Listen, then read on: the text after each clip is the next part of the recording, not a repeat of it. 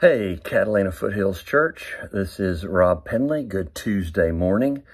Um, this Sunday, we're going to be looking at Romans chapter 7. As a couple of days ago, John got us back into the book of Romans by finishing up chapter 6. And so chapter 7 starts like this.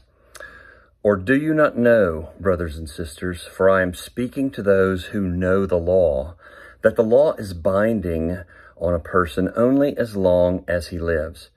For a married woman is bound by law to her husband while he lives, but if her husband dies, she is released from the law of marriage. Accordingly, she will be called an adulteress if she lives with another man while her husband is still alive. But if her husband dies, she is free from that law, and if she marries another man, she is not an adulteress. Likewise, my brothers and sisters, you also have died to the law through the body of Christ, so that you may belong to another, to him who has been raised from the dead, in order that we may bear fruit for God.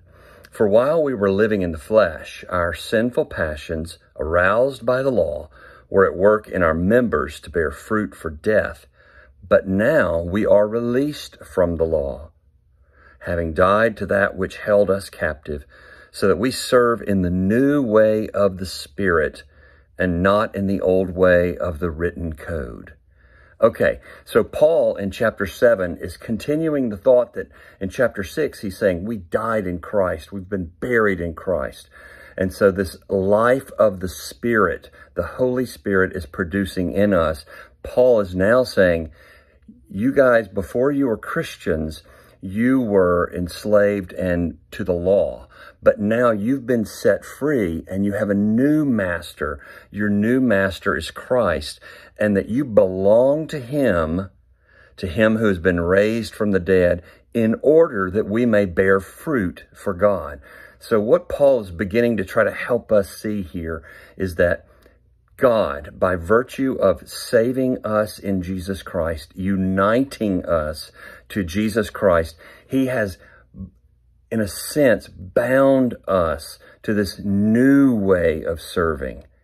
And it is a powerful new way. It is not the old way of the written code, but the new way of the Spirit.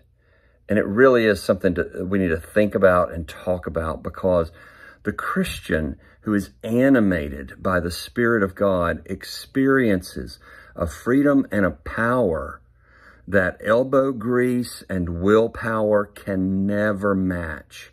And so we'll talk about what it means that God the Spirit now is animating us because we are united to Jesus Christ. And so we can look for a new way of serving according to the Spirit. Have a great day.